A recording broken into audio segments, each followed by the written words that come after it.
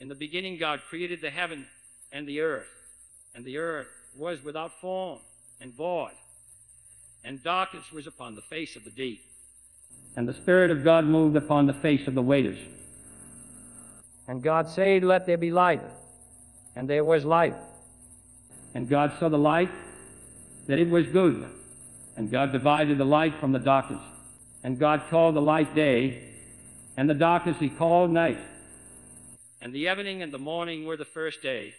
And God said, Let there be a firmament in the midst of the waters, and let it divide the waters from the waters. And God made the firmament, and divided the waters which were under the firmament from the waters which were above the firmament. And it was so. And God called the firmament heaven.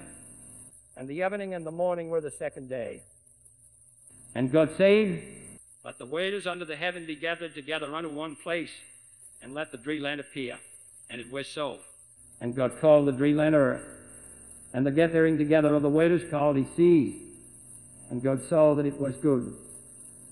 And God said, Let the earth bring forth grass, the herb yielding seed, and the fruit tree yielding fruit after its kind. For seed is in itself upon the earth. And it was so.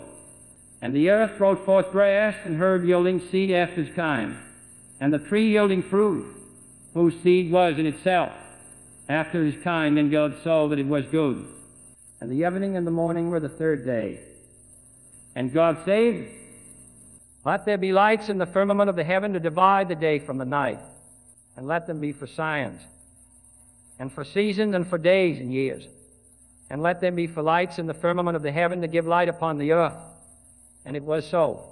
And God made two great lights, the greater light to rule the day, and the lesser light to rule the night. He made the stood also. And God set them in the firmament of the heaven to give light upon the earth, and to rule over the day and over the night, and divide the light from the darkness. And God saw that it was good. And the evening and the morning were the fourth day. And God said, Let the waters bring forth abundantly the moving creature that hath life, and fall that may flee above the earth in the open firmament of heaven. And God created great whales, and every living creature that moveth, which the waters brought forth abundantly, after their kind, and every winged fall after his kind. And God saw that it was good.